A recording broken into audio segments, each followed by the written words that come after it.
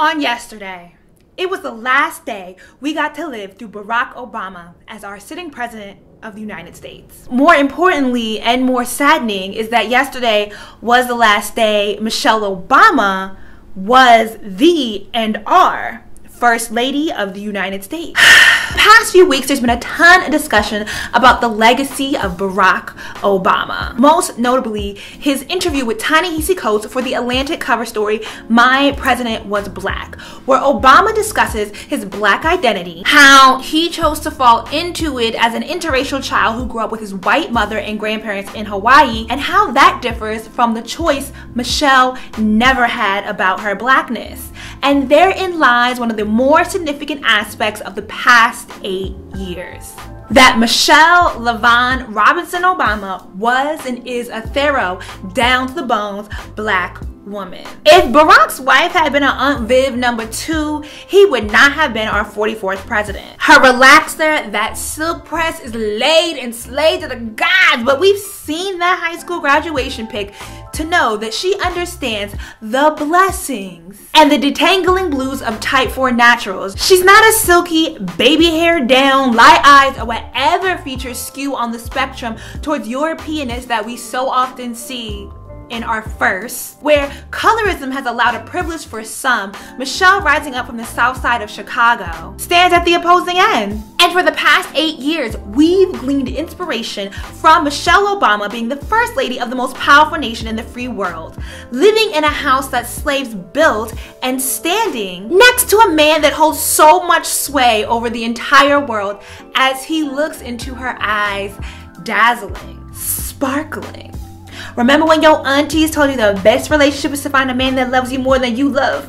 Oh, seems shady, contrite, but we get it. Her outfits were, yes, sis worthy. Her hair had the right bob. Her eyebrows, it takes is still taking, has took all of us a moment to get there, and she got there, transforming into fleekness. Beyond just the visual, Michelle is educated with a bachelor's from Princeton and a JD from Harvard. She was career focused, and Barack met her when he was her intern, and she went on to make quite a bit more money than him while being a mom to two beautiful girls. There's so many things to take from this as black women are constantly talked down at about being submissive, compromising, not focusing too much on your career like we are incapable of balancing career, love, and family. Michelle in the White House has been an act of grace She's had the switch turned on for the eight years. That code switch we turn on when we're the only brown face in a sea of white. But she doesn't get to leave this at five o'clock. And there was no cubicle for her to hide in or headphones for her to throw on and block everyone else out. You know how we do in the office. She was in the spotlight giving us the blessings of seeing black love, black music, black family, and black joy. Scandal free in the White House. Black parents have been able to get their children interested in politics and community because they woke up every morning to an image of themselves in the White House.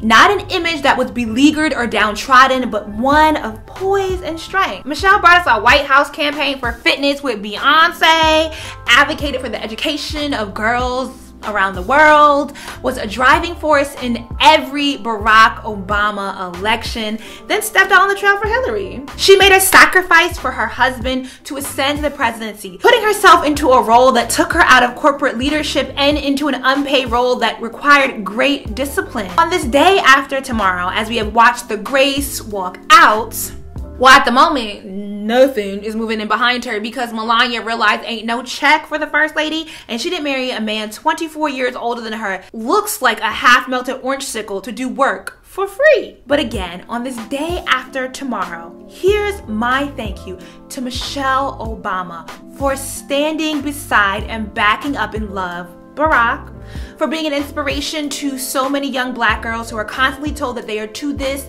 that, or whatever to be great, for putting up with heightened criticism, standing tall and firm in your greatness, for that indignant smirk you turned your head to cast as you greeted Melania, deeply felt by every black woman in this nation. You know that feeling of holding it together for the greater good. And thank you for giving us all access to a piece of your magic for the free. I, and I believe we, we all love you. Thank you, Michelle. Hey, Michelle. Girl. You look so good.